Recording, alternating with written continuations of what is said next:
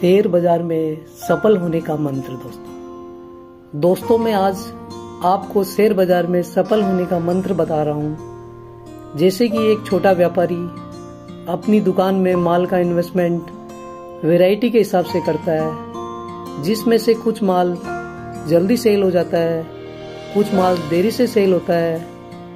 वैसे ही शेयर बाज़ार में आपको सफल होने के लिए बहुत सारी कंपनियों के शेयर खरीद कर रखने से आपको जैसे जैसे 10-15 परसेंट प्रॉफिट आएगा तो उसे सेल कर देना चाहिए।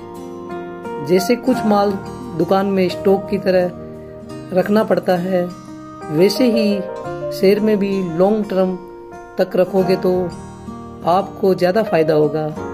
जैसे आप एक छोटा बिज़नेस करते हो, उसी तरह आपको शेयर बाज़ार का बिज़नेस कर सकते हो। इस हिसाब से शेयर बाज़ार में आपको अच्छा प्रॉफिट हो सकता है।